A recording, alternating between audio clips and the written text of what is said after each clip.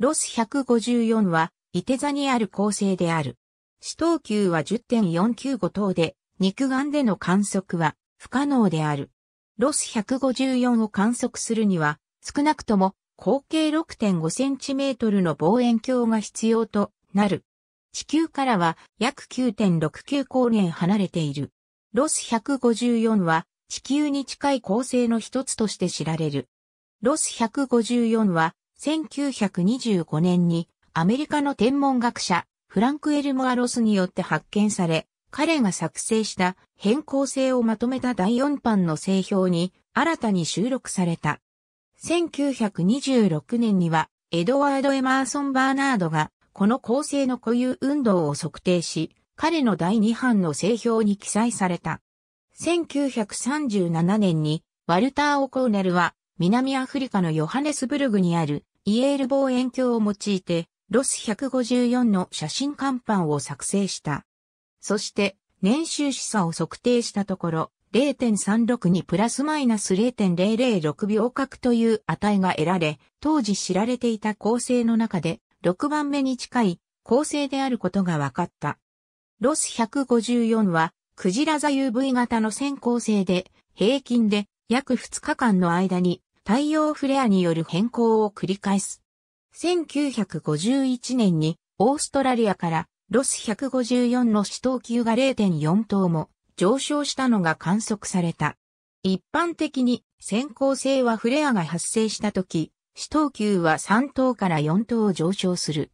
恒星の表面の磁場の強さは2.2プラスマイナス 0.1kg と測定されている。ロス154は X 線を放出しており、いくつかの X 線天文衛星で X 線が観測されている。X 線による高度は約 9027L グ秒である。スペクトル分類は M3.5VE で水素を使って各融合反応を起こす主系列性の段階にある。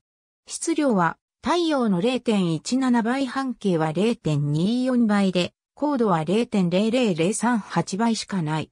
太陽のような恒星と対照的に、恒星内部の対流は非常に遅い。恒星の時点に基づくと、ロス154の年齢は数億年とされている。ヘリウムより重い元素の割合は太陽の半分ほどと考えられている。ロス154に最も近い恒星はバーナード星で5.41光年離れている。ロス154の周りに太陽系外惑星などは2016年現在発見されていない。しかし、周辺で過剰な赤外線が観測されており、これは原始惑星系円盤の名残と考えられる。なお、赤色矮星の場合、周辺のガス円盤は1億年以上が経過すると、恒星風によって消滅してしまう。銀河座標におけるロス154の固有運動は U、V、W イコール12.21、1.04、7.20km 毎秒である。この固有運動は現在知られているどの運動星団にも属さない。ロス154は銀河系の中心から27,650光年から3660光年離れたところを軌道離心率0.052の軌道で公転しているとされている。その低い視線速度からして太陽と同じく種族愛の構成とされている。約15万7千年後には6.39プラスマイナス0.10光年まで接近するとされている。ありがとうございます。